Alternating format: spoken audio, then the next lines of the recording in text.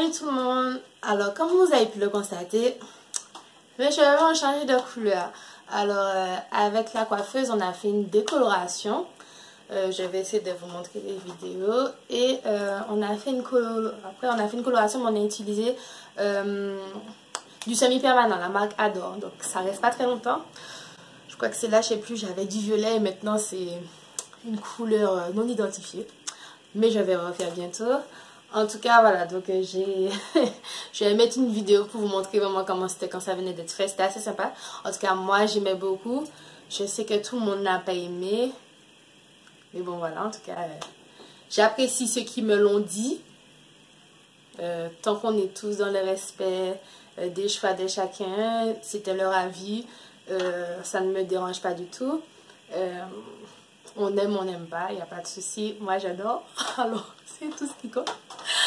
Et euh, voilà, j'ai adoré. Et d'ailleurs, je suis un peu triste que ce soit parti, mais bon, c'était que du semi-permanent, fallait pas s'attendre à ce que... Hein.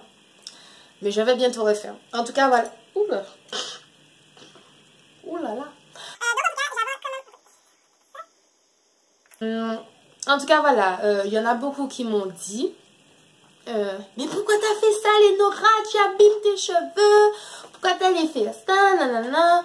Ou il y en avait juste qui m'ont dit, mais pourquoi t'as fait un peu plus calmement ou d'autres, mais vraiment, euh, j'ai eu des réactions assez vives des fois euh, sur pourquoi je l'ai fait.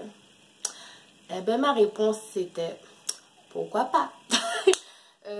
Je suis naturelle depuis ma naissance, donc ça veut dire que depuis 26 ans, j'ai la même tête. Et euh, donc voilà, j'aime faire des décolorations, j'en fais assez régulièrement. C'est juste que j'ai beaucoup modifié euh, ce que je fais avec mes cheveux. Je n'utilise pas de chaleur, c'est vraiment, vraiment, vraiment, vraiment très rare que j'utilise mon sèche-cheveux, mais je les laisse toujours sécher à l'air.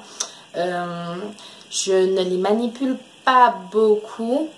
Donc voilà, c'est parce que je change toujours ma routine dès que j'utilise un décolorant. Et donc c'est pour ça que je, en tout cas, je, pour l'instant, à chaque fois que j'ai décoloré, je n'ai pas eu de casse. C'est vrai que le, cheveu devient beaucoup plus poreux, donc il faut être beaucoup plus rigoureux au niveau de l'hydratation. Mais euh, je n'ai, je, crois que je décolore assez régulièrement mes cheveux depuis près de 7 ans. Et honnêtement, euh, D'ailleurs, c'est là la première fois que j'ai vu mes cheveux vraiment pousser parce que je prenais beaucoup plus soin de mes cheveux une fois qu'ils étaient décolorés. Donc.